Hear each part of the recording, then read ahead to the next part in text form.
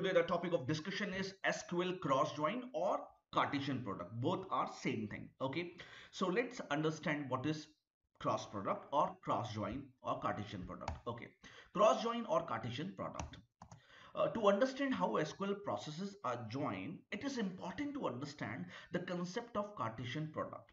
So what this statement wants to tell you is that if you want to understand join, then it is important to understand Cartesian product. That is, if you want to, under to understand how SQL join, how SQL processes are joined, it is important to understand the concept of Cartesian product. So you can say that Cartesian product or cross join is prerequisites of join. Okay, fine. Then a query that lists multiple table in from clause. A query that lists multiple table in from clause means it's a kind of query where there exists more than one table in after from. So in a in a simple query is what you have written. Select star from then table name then table name.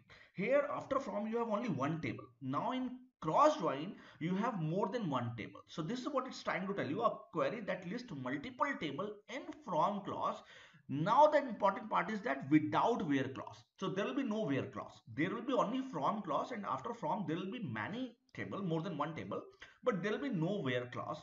Produces all possible combination of rows of all table. So what does it produce? It produces all the combinations.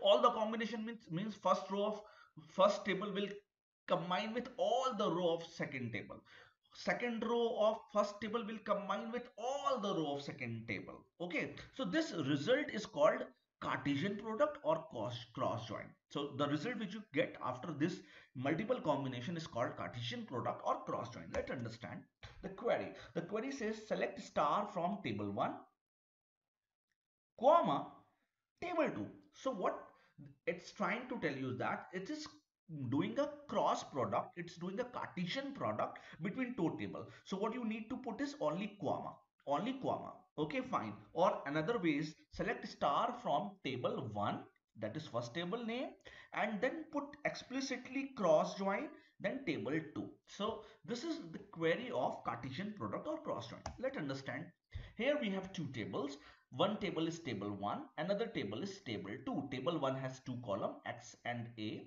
Table 2 also has two columns, X and B. Table 1 has three rows.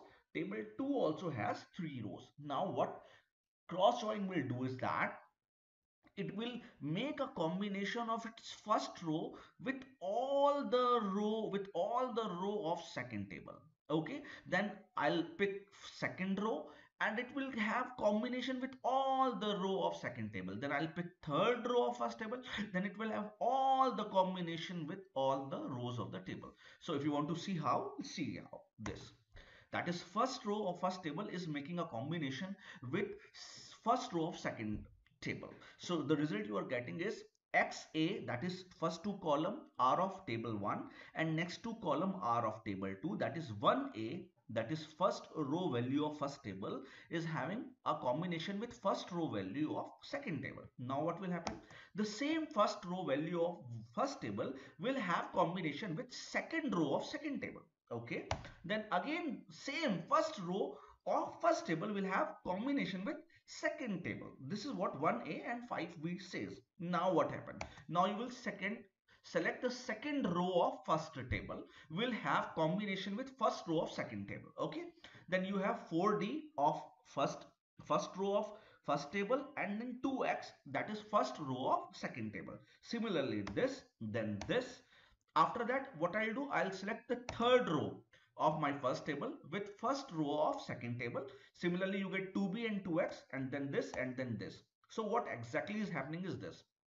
And that is the first row is having a combination with all the three rows. Then second row is having combination with all the three rows. And the third row is having combination with all the three rows of second table. Fine. So what happened actually? That is table 1 has three rows table 2 has three rows and the result set you have nine rows. So finally what you are understanding is that if a table has four rows first table has four rows and second table has three rows then the resultant table will have 12 rows. But in our example first table has three rows second table has three rows. So we get nine rows as the result. Okay. So these things are all theoretical. Let me run this query for you of Cartesian product so will you will understand each and everything very clearly. Okay so let me show you my Oracle 10G environment. Let's see. This is Oracle 10G environment and let me show you some tables. Okay uh, uh, uh I'm having first table as student. You can see the first table is 1 2 and 4 the first table is uh, of Parul Ghaziabad and 2 is Garima and 4 is Vijay okay then second table I'm having is of course. Second table I'm having is of course. Okay this course is what? Course course name have two two columns course number and course name. So what exactly is uh, the thing? That course number has course numbers 14 15 and 16 and uh, course name has mca c is for civil engineering and m is for mechanical engineering what i'm doing is i'm taking the cross product of what? Cross product of above two table student and course. What i'll do? I'll simply select i'll write s e l e c t select star from star from table 1 table 1 is student. S t u d e n t. Comma. In order to get a cross join you simply put comma course. C o u r s e. That's fine. Select star from student comma course. That's fine. And see the result. You are getting the nine rows. You are getting the nine rows. Okay? Okay okay okay okay okay. Let me show you. Our first table has three rows. Our second table has three rows. Resultant you are getting are nine rows. Fine. You are getting nine rows. Okay first table has three columns roll name address and second table has two columns c number and c name and finally the result you are getting the five columns. Fine. So this is a cross product or cross join. Or you can simply do is what? I show you very something very good.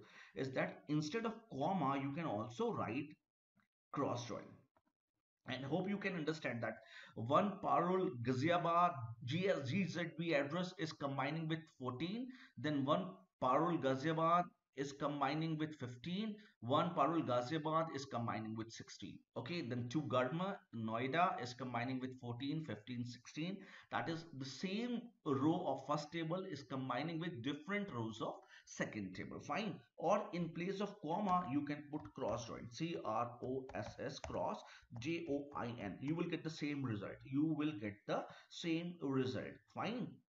Say this. You will get the same result. Finally you get the same result. Either you put comma or you put cross join you get the same result. So again what i'll say that i always say what i say. What i always say. I always say after explaining everything is what? Thank you so much.